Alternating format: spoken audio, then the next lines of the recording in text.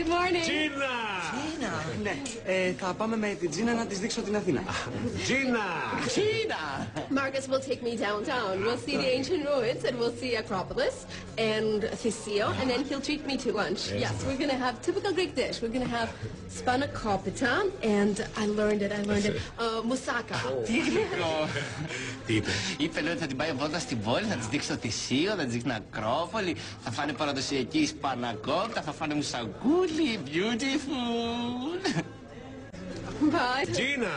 Gina, Yeah. I have a question for ya. Πνίγες. Stop Dionysus. Gina, darling, you stay in London. I do, downtown. I think it's very familiar, your face, I didn't know Τρελάθη. you. Πάτε, πάτε, δεν βλέπεις εδώ, νομίζετε στο BBC αυτός. Πείτε παρακαλώ. Ναι. Okay, cheers, bye. Να σου πω τι είπατε; Τα δικά μου. Έχουμε μία υποψία. Πολύ σοβαρή. That Marcus Curvant is pregnant. Στην ελληνική τηλεόραση είμαστε. Ότι η κοπέλα του Μάρκου είναι ίδιος.